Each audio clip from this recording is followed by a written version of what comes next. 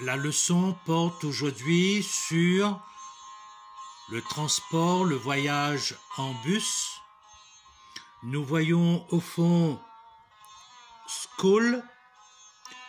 Nous voyons des enfants qui sont en uniforme. Nous voyons le contrôleur qui ramasse de l'argent. Et donc nous supposons donc que c'est un bus les enfants prennent tous les jours pour aller à l'école.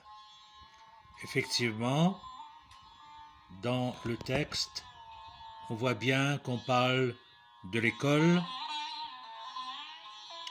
Prenez de l'avance, on met sur pause, travail d'écriture, tout de suite on repère les verbes, tout de suite on repère des mots qui sont composés comme peurun, dil, et on a vu que c'était peurundu.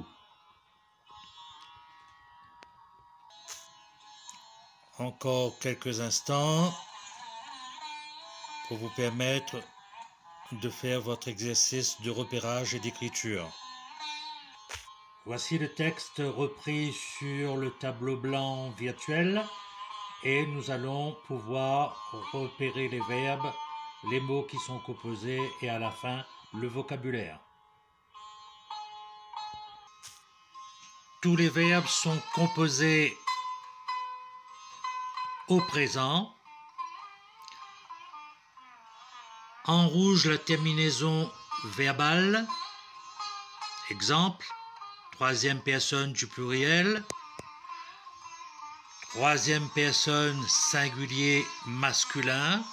Et ce qui est intéressant ici, c'est qu'on voit aussi la conjugaison à la troisième personne neutre.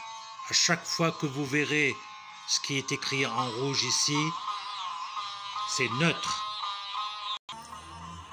Nous voyons également ici le féminin, troisième personne, singulier féminin, elle lit, le verbe lire.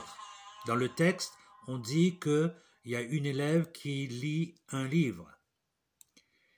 À nouveau, troisième personne neutre.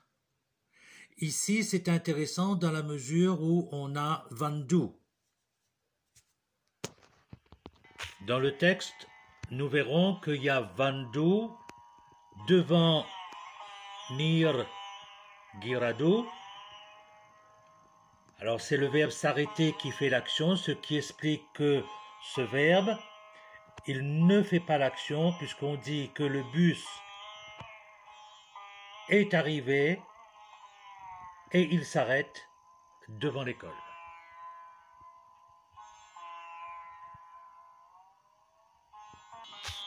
Donc il y a eu une correction ici puisque on a écrit étant arrivé. Le verbe descendre, tout le monde descend du bus à l'arrivée devant l'école. Nous avons le vocabulaire.